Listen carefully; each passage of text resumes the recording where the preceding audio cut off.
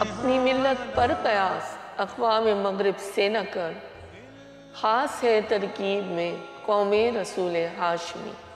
आज 9 नवंबर योम इकबाल के हवाले से कौम के नाम, अल्लामा इकबाल का एक पैगाम आपकी खिदमत में हाजिर है। अलामा इकबाल का पैगाम कुरान पाक की फ़लसफियाना तशरी है, ना सिर्फ़ बड़े सग़ीर के लिए बल्कि पूरी दुनिया के लिए एक लाफानी पैगाम और अनमोल असासा है। अल्लामा इकबाल का पैगाम खुदा पर तवक्ल और ख़ुद एतमादी पर मबनी है, जिसमें इंसान दोस्ती, मोहब्बत, रवादारी और इंसानी अकदार, यानी ह्यूमन वैल्यूज़ पर ज़ोर दिया गया है। अल्लामा इकबाल ने अपने फ़लसफ़े खुदी के ज़रिए खुद शनासी इंसानियत की खिदमत और खुदा की मार्फत के बारे में जो पैगाम दिया है, उस पर अमल करने की अशद ज़रूरत है।